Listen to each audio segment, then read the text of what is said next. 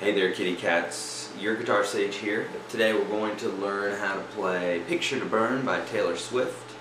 I'm looking at my chart here on the screen and I'm going to play it here first and then talk to you about the chords and about the strumming and all that good stuff, okay? So here we go, it's going to go something like this.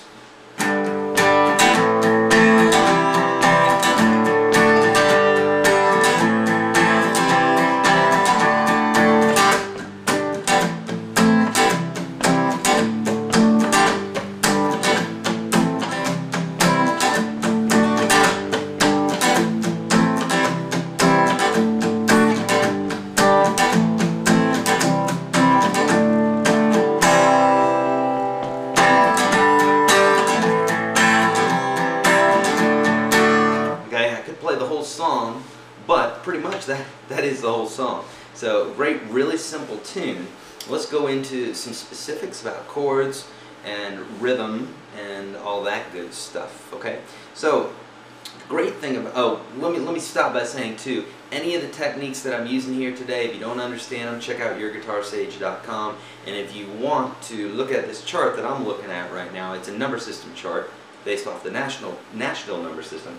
Um, it's a great way of learning your chords. It's a great way of transposing and that sort of thing. And I, and I teach that with an ebook that I've got there on yourguitarsage.com as well. So any of the questions, um, refer to, the, to that and also to um, my channel, Your Guitar Sage, where you can get a lot of these questions answered as well, strumming and chords and all that good stuff.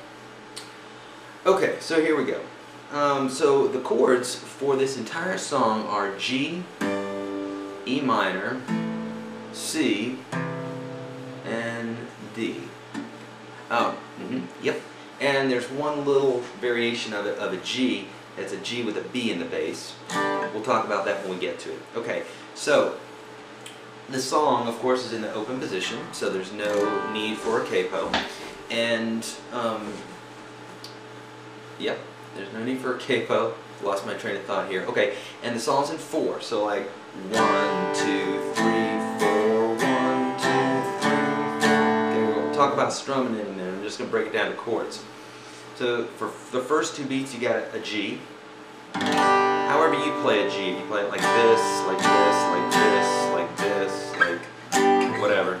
It's all a G. Um, I like to play this one. You can play that for two beats. An A minor for two beats. Bring your thumb over the neck and mute that, that sixth string. If you haven't got that technique down yet, look at some of my other videos. It's really important when you're playing acoustic guitar that you do that. You don't want to have a drone string ringing out all the time. The next chord is a C. And again, you bring that thumb over and you mute that string right there. A D muted sixth string again. Okay? And basically that G, A minor, C, D is all, well, let's see, the intro, the, let me look, I'm looking at my chart here,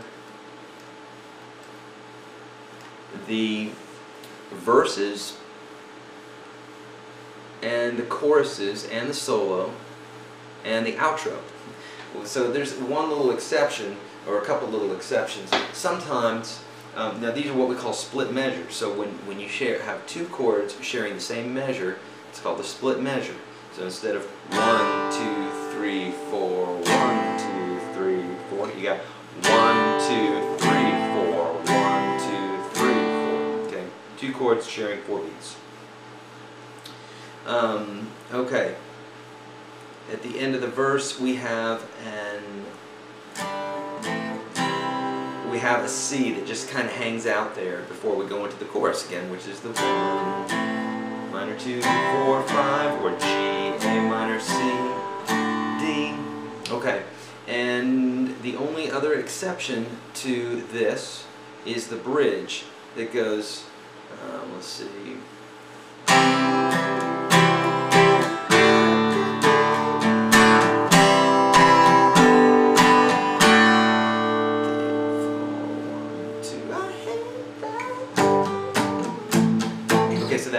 goes one measure of C, one measure of G.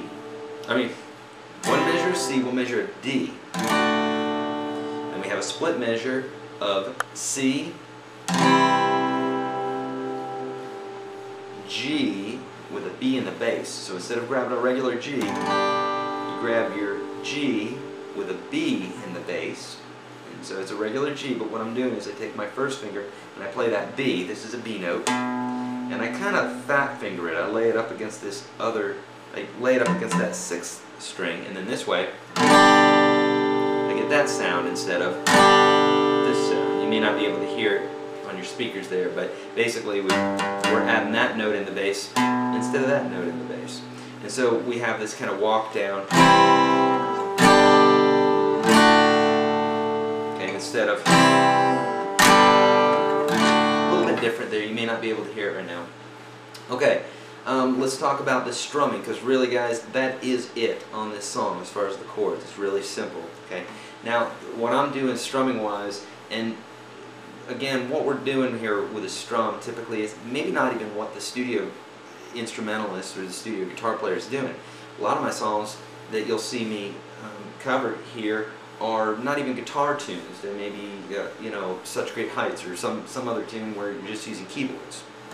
Um, so, again, what we're doing is, is, is, we're listening to the drums, we're listening to the bass, we're listening to everything, and kind of condensing it down to a, to, to a, a strum that makes sense. So in this one we got,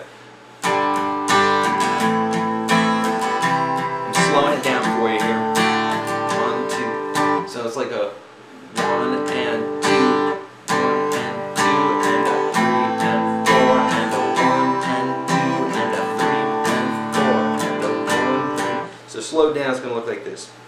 One and two, and three and four, and one and two, and three and four, and now if you have an issue with that or anything that we're doing here, remember always bring it down, slow it down, break it down.